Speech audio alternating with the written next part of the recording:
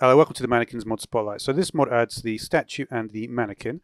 So when we hit the mannequin here, you can see we're going to get, it tells about 8 damage. So we've got 4 hearts, that's 8 damage. If we confirm, we can confirm by hitting the sheet, and there you go, you can see 8 damage. And what you can actually do is these have got interfaces, so you can see what you're able to do is you can choose each of the four parts here. So for instance, if I wanted to pose the head in a certain way, I can rotate it around all the different axes so like that, and then when you let go, you'll see it'll be facing in a different direction. And here on the statue, you can see I've put on some gear. We've got a helmet, a chest plate. They're the only two pieces of armor you can put on. And you can also equip it with a sword and a shield.